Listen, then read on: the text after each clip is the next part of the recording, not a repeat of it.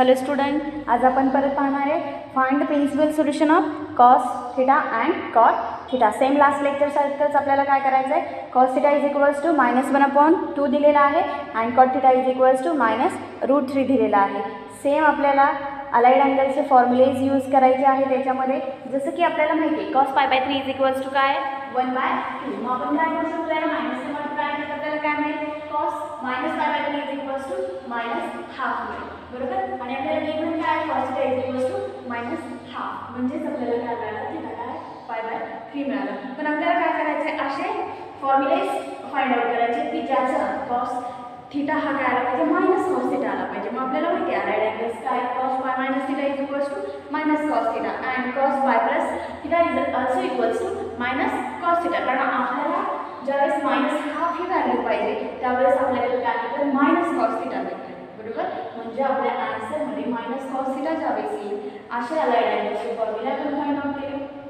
जे की आपल्याला माहिती आहे त्याच्यामध्ये आपण फक्त काय बाय थ्री बुक करणार काय cos phi minus theta cos phi minus three is equals to minus cos phi by three also cos by three is equals to minus cos phi by three आणि cos five by थ्रीची value काय half because ही आहे minus therefore which is minus half आपल्याला काय मिळालं cos phi minus phi by three is equals to minus cos phi by three implies that pi minus pi by 3 काय येणार आहे 2 pi by 3 therefore cos 2 pi by 3 is equals to minus half and also cos pi plus pi by 3 is equals to minus cos pi by 3 pi plus pi by 3 काय येणार आहे 4 pi by 3 therefore आपल्याला काय मिळालं cos 4 pi by 3 is equals to minus half and both are values. 2 pi by 3 and 4 pi by 3 are lie between 0 to 2 pi. Therefore both are principal solutions of cos theta is equals to minus half. Implies that 0 is less than equals to 2 pi by 3 is less than 2 pi and 0 is less than equals to 4 pi by 3 is less than 2 pi. Implies that 2 pi by 3 and 4 pi by 3 are principal solutions of cos theta is equals to minus half. Also second question Cot theta is equals to minus root 3 हे कधी possible आहे ज्यावेळेस tan. Theta is equals to 1 upon root 3.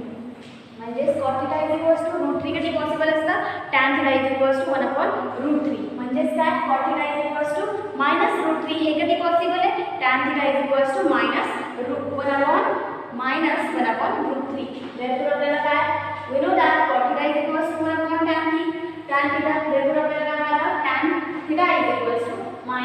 minus one upon root three also आपल्याला right angles माहिती आहेत काय tan pi minus theta is equals to minus tan theta also tan 2 pi minus theta is equals to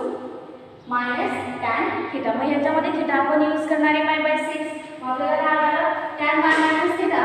is equals to minus tan theta म्हणजेच काय tan pi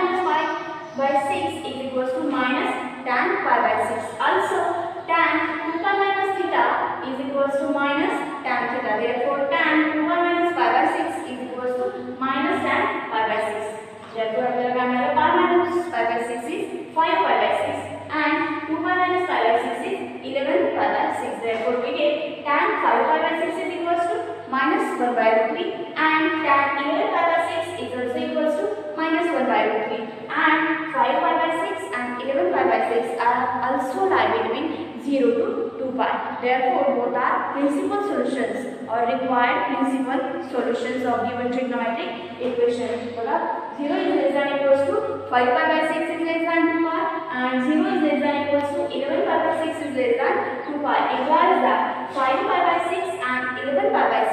both are required principal solutions of given trigonometric equations. पहा